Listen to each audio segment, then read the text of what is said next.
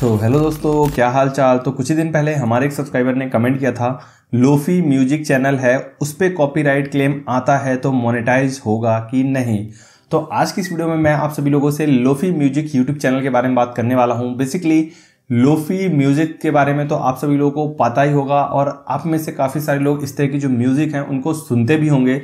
तो काफ़ी सारे लोग के दिमाग में ये भी सवाल आता है कि हम इस तरह के सॉन्ग्स यदि खुद से बनाकर यदि अपलोड करते हैं तो क्या हमारा कंटेंट मोनेटाइज होगा या नहीं होगा? या फिर मान लीजिए हम लोफी म्यूज़िक को बनाकर अपलोड करते हैं और हमारी यूट्यूब वीडियोस पर कॉपीराइट क्लेम आ जाता है तो उस केस में हमारा यूट्यूब चैनल मोनेटाइज होगा या नहीं होगा? या फिर हमारी वीडियोस मोनेटाइज होंगी या नहीं होंगी? आज की इस वीडियो में जो है मैं इसी बारे में बात करने वाला हूँ। दोस्तों वीडियो क्लास से ज़रूर देखिएगा। बहुत ही ज़्यादा काम की होने वाली है। और अभी तक आपने इस वीडियो को लाइक नहीं किया तो यार जल्दी से लाइक कर दीजिए, साथ ही चैनल को सब्सक्राइब नहीं किया सब्सक्राइब कर दीजिए।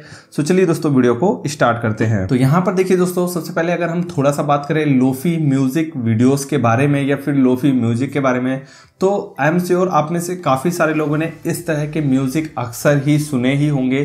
अब क्योंकि यहाँ पर जो लोफी म्यूज़िक होते हैं वो अपने ओरिजिनल म्यूज़िक से काफ़ी अलग होते हैं और यहाँ पर जो लोफी म्यूज़िक होता है उसको अप, बनाने का अपना ही एक प्रोसेस होता है और कहीं ना कहीं इसमें क्रिएटिविटी भी इस्तेमाल होती है, क्योंकि अगर आप किसी भी एक नॉर्मल सॉन्ग को अगर आप बेसिक तरीके से लोफी म्यूज़िक बनाते हैं तो वो कभी भी आपकी ऑडियंस को पसंद नहीं आएगा। तो उसमें कहीं ना कहीं आपको अपना थोड़ा सा हार्डवर्क और अपनी थोड़ी सी क्रिएटिविटी ऐड करनी ही पड़ेगी।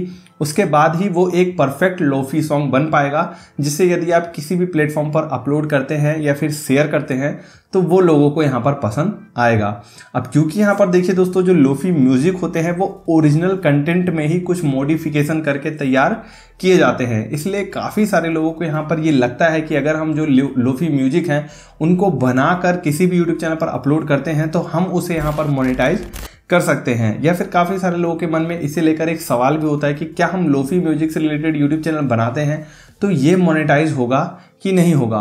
और उसमें ही सबसे बड़ी समस्या आ जाती है कॉपीराइट क्लेम की। उनके ओरिजिनल ऑनर या फिर क्रिएटर के द्वारा जो भी सॉन्ग को बनाते हैं और अपना खुद का सॉन्ग यूट्यूब पर अपलोड करते हैं उनके पास एक कंटेंट आईडी होती है, जिसकी वजह से यदि आप उस सॉन्ग को इस्तेमाल करते हैं, भले ही आपने उसमें कुछ इफ़ेक्ट वगैरह ऐड किए हो, आपने उस सॉन्ग को मॉडिफाई वगैरह किया हो, इसके बावजूद यदि आप उस सॉन्ग को इस्तेमाल करते हैं तो आपकी वीडियोस पर कॉपीराइट क्लेम आ जाते हैं। तो वहीं पर लोगों का ये भी सोचना होता है कि अगर हम लोफी म्यूज़िक को अपलोड कर रहे हैं, उसमें कॉपीराइट क्लेम आ गया तो उस केस में हमारा यूट्यूब चैनल मोनेटाइज होगा या नहीं होगा।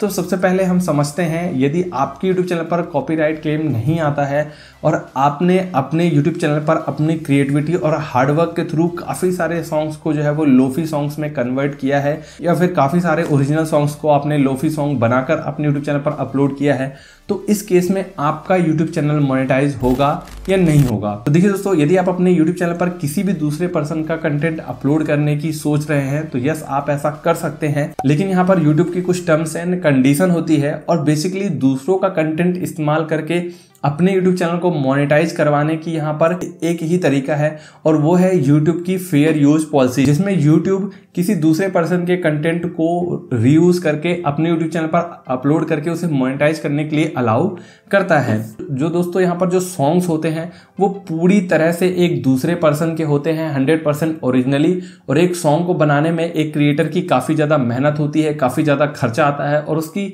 बहुत ही लॉन्ग टाइम की जो है वो उसमें इन्वेस्टमेंट होती है हार्डवर्क वर्क होता है। यदि आप किसी भी सॉन्ग को अपने यूट्यूब चैनल पर अपलोड करते हैं और आप अपने यूट्यूब चैनल को मोनेटाइज करने की यहाँ पर सोच रहे हैं तो इसके बहुत ही रेयर चांस है या फिर मैं आप सभी लोगों से कहूँ तो ऑलमोस्ट ना के बराबर चांस है कि इस तरह का यूट्यूब चैनल आप मोनेटाइज करवा पाएँ। क्योंकि यहाँ पर अभी तक यूट्यूब में इस तरह का कोई भी रूल या फिर लॉ एग्जिस्ट नहीं करता है, जिसके थ्रू आप जो ओरिजिनल म्यूजिक्स हैं, उनमें कुछ इफ़ेक्ट वगैरह ऐड करके या फिर उनको मॉडिफिकेट वगैरह करके आप उन्हें मोनेटाइज कर सकें।